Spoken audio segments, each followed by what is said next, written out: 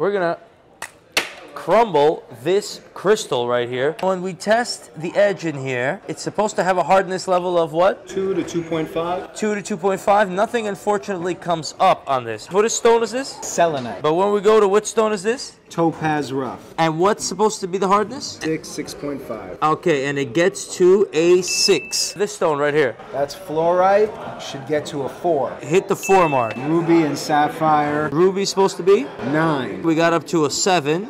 Sapphire's supposed to be? 9. And we got it to a 7, 8, and we got it up to 9. My watch. The crystal's supposed to be a sapphire, up to a 6, and this is supposed to be a diamond.